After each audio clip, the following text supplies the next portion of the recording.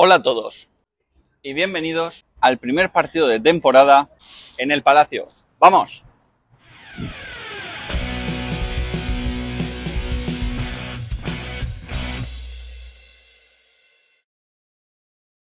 Antes de meternos en el Palacio, vamos a hablar un poquito de los dos equipos, porque yo sé que hay ganas de volver aquí a nuestro Palacio, no en modo Supercopa, sino más bien en modo Liga Andesa, una temporada más, pero vamos a presentar, como hacemos siempre, un poco tanto a nuestro rival de hoy como a nuestro UCAM Murcia, aunque creo que en este caso ninguno de los dos equipos hace mmm, especial falta que se les presente. Por un lado tenemos al que nos visita hoy, tenemos a Vasconia, un auténtico equipazo, lo sabemos todos, con un pedazo de entrenador, de entrenador perdón, que además le encanta jugar a lo que nosotros jugamos. Lo comentaba el otro día Sito Alonso, el juego de Vasconia es un juego eh, muy físico, un juego eh, muy rápido, ¿no? Un equipo al que le gusta mucho correr y además que tiene auténticos jugadorazos. Los conocemos a todos. Tiene un Marcus Howard que viene a ser el MVP de la primera jornada de esta Liga Andesa 2023-2024. Marcus Howard anotando un 100% en tiros de 2, un 5 de 8 en triples con 29 puntos, 32 de valoración. Desde luego es uno de los bases de la competición. Un Chimamoneque que viene de atrapar 14 rebotes, que yo creo que es uno de los jugadores quizás más daño nos pueden hacer porque es un jugador tremendamente duro en la pintura, duro siempre en el buen sentido, eh, jugador que además eh, te puede abrir el campo, no es un especialista en tiros de tres, pero que los puede meter perfectamente. Un Matt Costello que cada vez que viene aquí a Murcia, sea con Gran Canaria, sea con Vasconia, siempre, siempre, siempre nos destroza. Un jugador que además juega en el puesto de 5, también puede hacer de 4, pero bueno, jugando de 5 creo que como más daño hace, te abre el campo, un lanzamiento de 3 muy fiable, por no hablar de esos complementos, ¿no? Un Nico que aún no ha explotado, un Banja Marinkovic, eh, Kotsar por ahí también, Califa Diop, también nuevo fichaje, lo voy a decir mal, pero Rojbak Paulus, ese, ese jugador griego, ese 3-4 del que se espera mucho, también muy joven. ¿Qué, qué puedo decir? Vasconia es que es un auténtico equipazo. Por la parte que nos toca, por la Duca Murcia, bueno, para mí estamos ante una de las plantillas mejor construidas, yo creo que de la historia del club, al menos acorde a lo que propone el entrenador. Lo que os estaba comentando antes, Vasconia, un equipo que juega muy similar a Duca Murcia, correr, eh, ser agresivo en defensa, etcétera, etcétera. Y una plantilla a la que se le ha construido Sito Alonso, que para mí es precisamente para eso, para lo que quiere Sito Alonso. Una plantilla que yo creo que está esta vez sí que muy compensada, acierto en la línea de tres puntos y sobre todo amenaza prácticamente todos los jugadores pueden lanzar de tres. También peligro interior, con Musa Diagne, con Nemanja, con Virgander, que ya venimos de ese partido de Granada, que qué bien lo hizo Simon Virgander. Vamos a ver cómo sigue recuperándose de esas molestias en el, en el tendón de Aquiles. Y precisamente lo que os estaba diciendo, la victoria en Granada. Viene, viene UCAM Murcia la mejor de las formas. Viene de ganar un partido complicadísimo, que tuvo que ganar varias veces, que también parecía que lo perdía varias veces, pero acaba ganando tras dos prórrogas en un partido al que Granada, hay que decirlo, le sale todo o sea, entran unos triples increíbles, Kawan Chitam, eh, Luis Costa, increíble el partido de Granada, muy buena sensación las que dejó el, el equipo nazarí. Pero UCAM Murcia gana y viene aquí, a su templo, viene al Palacio de los Deportes a intentar ganarle a uno de los top, a uno de los equipos Euroliga.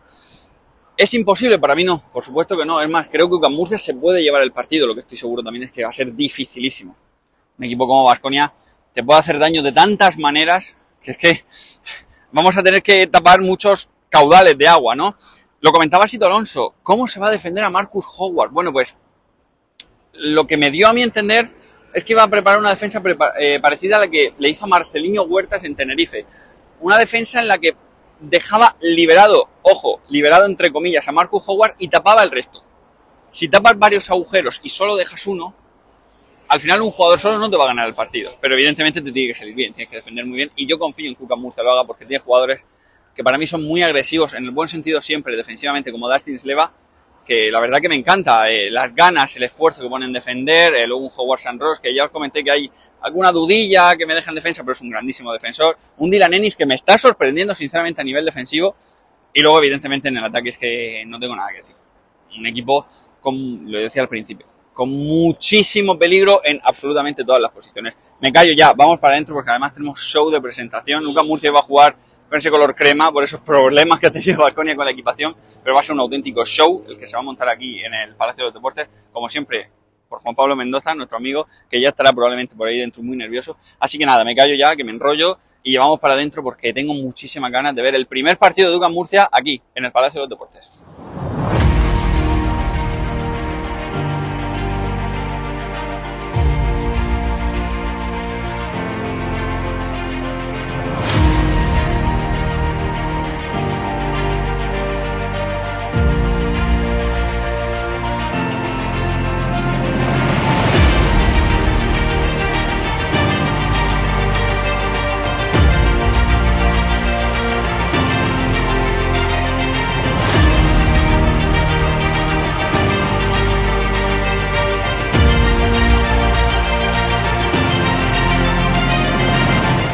Probablemente lo conozcáis todos, pero bueno, eh, Richie Guerra, de Radio Vitoria. Muy buenas, un placer.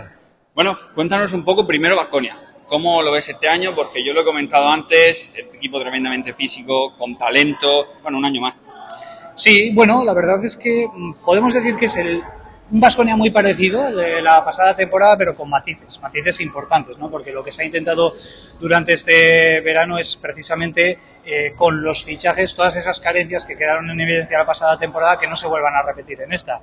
Por tanto, se ha apostado sobre todo por añadir un poquito más de músculo en el juego interior, que sobre todo en partidos de Euroliga se notó muchísimo esa debilidad y, seguir con la misma filosofía de Joan Peñarroya, ya lo conocéis, lo de correr y tirar, el run and gun de toda la... Aquí además lo conocemos muy bien eso. Efectivamente, entonces la filosofía va a ser esa, pero intentando utilizar más recursos, más herramientas en el juego interior, con hombres como Moneque, como Jalifa Diop, que todavía está algo tiernito y tiene que empezar a, entrar, y luego, bueno, pues en la segunda temporada de los Cocha, la tercera de, de Costelló, ya obtener un rendimiento mayor por parte de estos jugadores y en definitiva ser un equipo más completo de lo que fue la pasada temporada. Comentaba Sito Alonso en rueda de prensa que, bueno, entendía yo que quería hacer un poco lo que hizo en Tenerife el año pasado, que era dejar tirar a Marceliño, en este caso dejar tirar a Marcus Howard y defender el resto.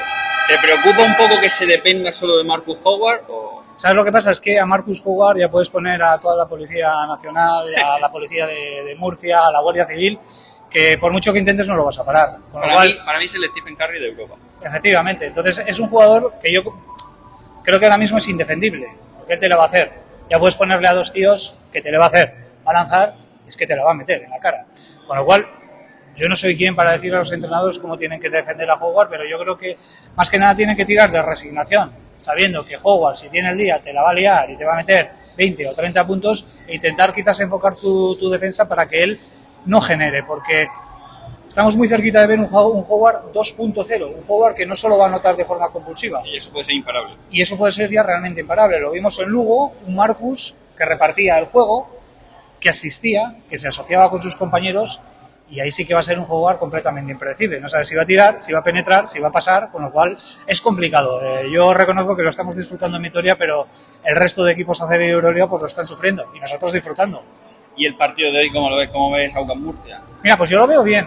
Es más, he llegado aquí a Murcia, he hablado con algunos compañeros tuyos, y veo como una especie de clima de pesimismo alrededor de, del equipo que, que no acabo de entender hay que darle tiempo, hay muchos fichajes, seguramente necesitarán partidos ¿no? para poder engrasar toda esa maquinaria ¿no? y, y las nuevas piezas, eh, pero a mí los fichajes eh, me, gustan, me gustan mucho ¿no? en esta era post-Sadiel Rojas, ¿no? el tema de, de Hackanson, de, eh, de Dylan Ennis, ¿no? que me parece un fichajado para, para Murcia. Veo tres pibos que tienen un perfil muy parecido en cuanto a nivel, pero eh, que se pueden complementar a las mil maravillas, en definitiva yo creo que va a estar cerca de los objetivos de poder estar en Copa o acercarse y de poder estar en eh, el playoff o acercarse. Allí que lo conocéis bien, ¿te parece quizás la mejor plantilla para Sito Alonso? Bueno, la verdad es que eh, siempre aquí en Murcia mmm, se ha intentado hacer, eh, construir plantillas imagen y semejanza ¿no? de, de Sito, de Sito Alonso, que tiene pues, eh, un baloncesto eh, muy marcado. Yo creo que le puede sacar mucho rendimiento realmente a, a este UCAM y, y, la primera jornada, pese a que eh, se produjeron aquellas prórrogas, ¿no? Granada le puso las cosas complicadas. Insisto, aquí tenéis que tener paciencia. Paciencia con este equipo. Otra cosa es el que te diga, no, es que en cinco temporadas y media no ha cumplido las expectativas. Yo ahí no me meto, pero siempre he dicho, hasta el partido número 7, entre el 7 y el 10, sacar conclusiones. Siempre es un mes, un mes, y medio. Sacar las conclusiones ya a partir de ahí sí, sí que tiene más, es más razonable, ¿no? Pero hacerlo a estas alturas de temporada hay que darle tiempo a los equipos. Y ya la última, ¿qué pasó con la camiseta de Vasconia? Porque aquí ha habido un poco de lío, que si rojo, que si color crema, que si azul, ¿qué bueno, ha pasado? Problemas de suministro. Que ya ha transcurrido un cuarto del siglo XXI, pues son difíciles de, de explicar. Aquí pasó hace una temporada, ¿eh? Sí. jugamos media temporada con la anterior con parches. Efectivamente, estamos hablando de baloncesto profesional, estas cosas no deberían de, de suceder, pero es que a día de hoy Vasconia tan solo tiene disponible la primera camiseta y eso desde luego a mí personalmente me parece bastante ridículo, ¿no? Podría suceder en otras categorías, pero en toda una liga CB y un equipo de liga pues, pues no le debería de, de pasar. Pero bueno, son cosas que quedan ahí en el anecdotario situaciones de mejora en el futuro y, y bueno, hoy por lo menos, pues mira, vamos a poder disfrutar de nuestra azulgrana, de nuestra eh, primera equipación como visitante aquí en este pabellón, que por cierto se ha quedado muy Sí, bien. te ¿eh? quería preguntar también qué te ha parecido el pabellón. Pues la verdad es que muy El remozado. juego de luces que se espera ahora en la presentación, vamos a ver qué tal. Esta es otra historia. Mira, para el que lo quiera recoger el guante, y así cambian los asientos de color. Negro. Y se ponen queremos poner aquí, negros, negro. rojos, rojos, negros. Os quedaría un pabellón de, Siempre- yo siempre digo que el mejor pabellón en Europa es el Buesa. Es lo más estilo NBA que yo creo que se puede encontrar. A mí me gusta el Buesa, pero mira, un servidor que ha tenido el privilegio de ver todos los pabellones Euroliga, me quedo con el Zalgiris Arena, me quedo por ambiente con el Stark Arena cuando juega Partizan de, de Belgrado una caldera. y me quedo luego por tecnología alemana con el Mercedes-Benz, que es un pabellón, vamos... Que eh, da miedo entrar. top, top. Pero el Buesa Arena también estamos muy contentos. Bueno, pues Richie, ojalá nos veamos ahí en el Buesa Arena, que yo nunca he estado. Y bueno, muchas gracias por atendernos y que haya suerte para hoy. Igualmente.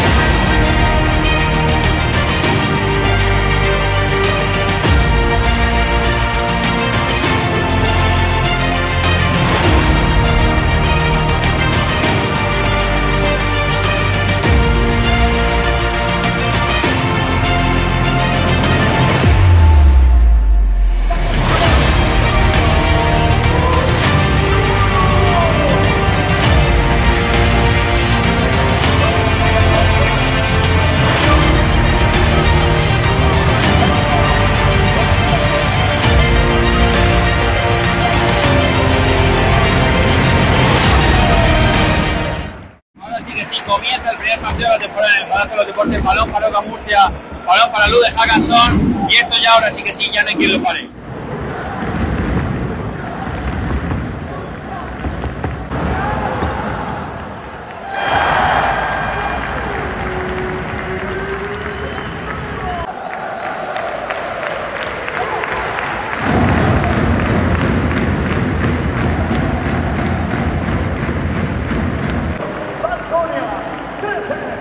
Visto ese primer cuarto con un más 5 perdón, para Oca Murcia.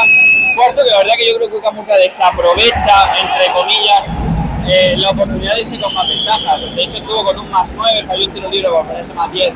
Pero es que visto un Bajones muy fallón, yo creo que centraban demasiado el ataque Marcus Howard y al final no, no, no han encontrado sus tiros, ahora acaba de fallar otra vez Marinkovic. Vamos a ver cómo se desarrolla el partido. Lucas Murcia también empeoró con la entrada, por ejemplo, de Howard Sandro Sokumek.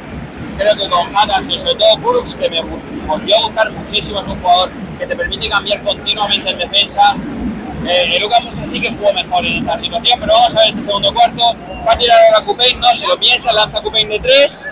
El balón acaba no entrando. Bueno, vamos a ver este segundo cuarto en el cual Murcia ya está 7 arriba y vamos a ver si encuentra ese acierto para intentar irse en el marcador, porque realmente yo digo que Baskonia no está para nada acertado.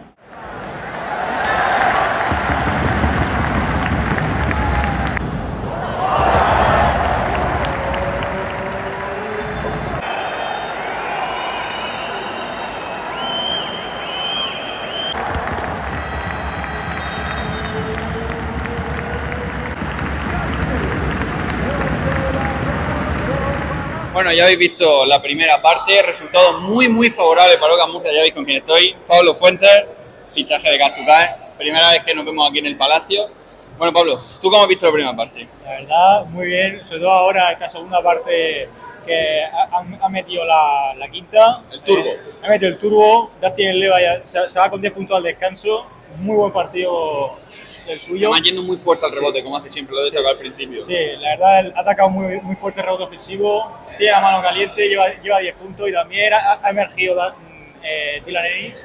Sí, que se le esperaba, la gente se le, se le veía con ganas a la gente, ¿no? Que gritando, Dylan Ennis. Está, está inhibiendo a, a Howard, que es al final la, la- la pieza clave de Vasconia y sin él, la verdad que ahora mismo está muy bien el UDAM y a ver si, si sigue así y no baja, y no baja la marcha. Lo estabas diciendo además, Nico Manion, del que yo esperaba mucho, está totalmente mm, Desaparecido. desaparecido en combate. Desde, va, va en, eh, va en, en picado.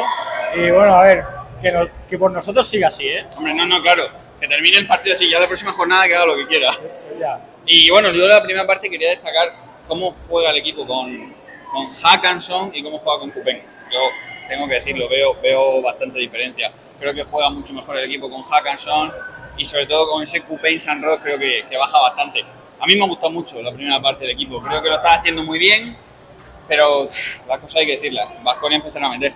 Pues ya, a ver, mientras sigan fallando, pero no se puede, no se puede pedir no se puede pedir mucho más a Vasconia que sigan fallando, porque al final lo van a, van a meter.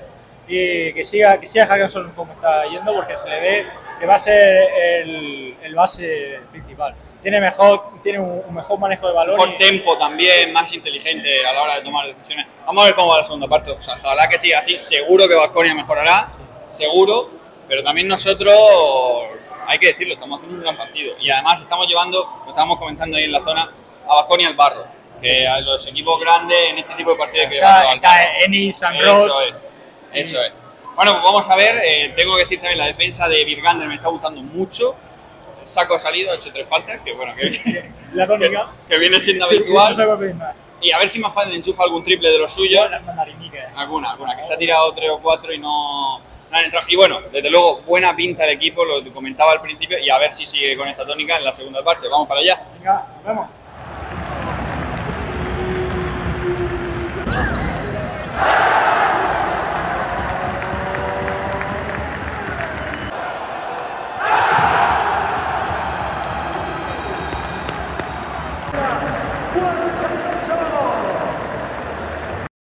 Empieza el último cuarto para UCAM Murcia, que ha conseguido mantener la ventaja que se va del descanso. Iba ganando de 14, se va ganando, como habéis visto, de 13.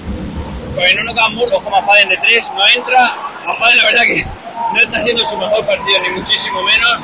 Pero bueno, UCAM Murcia está manteniendo, ya digo, el resultado en el marcador.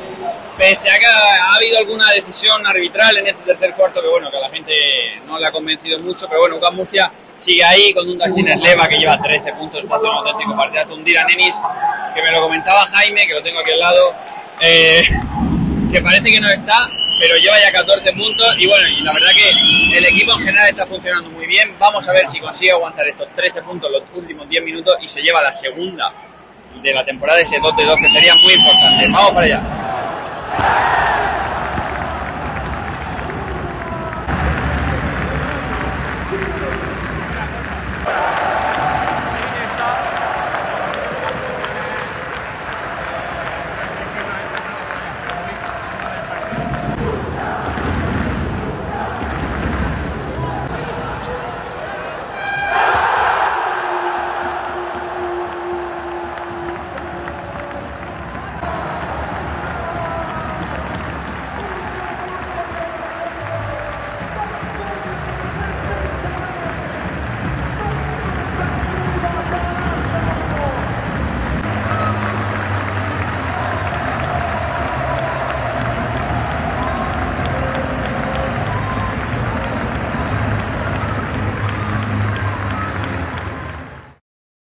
noches. Bueno, primero felicitar a UCAM Murcia porque desde el salto inicial han merecido ganar, ganar el partido y han sido claros vencedores de- del juego de esta noche. Bueno, hay muchos datos para, para hablar de, del porqué de nuestro mal partido.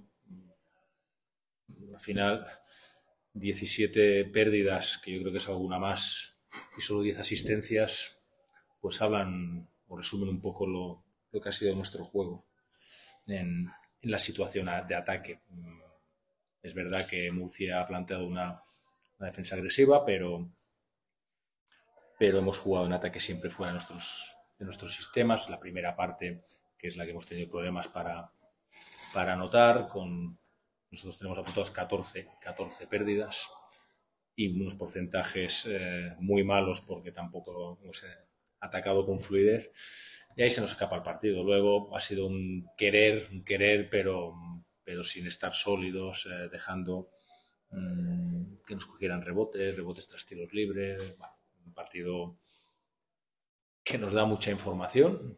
Evidentemente esta información para nosotros es muy valiosa, aunque no sean buenas noticias lo que nos ha pasado hoy, pero este es un equipo en construcción, un equipo que tiene que, crecer y lo de hoy es un buen toque de atención para, para mejorar.